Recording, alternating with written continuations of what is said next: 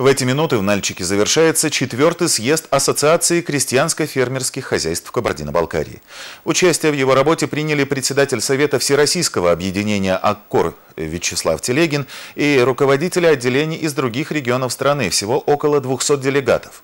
Разговор шел о проблемах, с которыми сталкиваются фермеры. Один из самых больных вопросов – получения субсидий. Точнее, существующие ограничения в сроках сбора и подачи документов, подчеркнул президент Аккор Кабардино-Балкарии Казбек Кардангушев. Как правило, фермерам дается на это буквально несколько дней. Собрать весь пакет документов за столь короткое время практически невозможно. Возникают сложности у сельхозпроизводителей и с арендой земли. Зачастую, вот, когда вот, э, фермер отрабатывает свой срок э, аренды земли, сейчас такая мода пошла. То есть после окончания срока аренды фермерская земля выставляется на тендер. А на тендер вот, э, кому не лень, со всех концов России заявки пишут, и фермер должен платить отступные.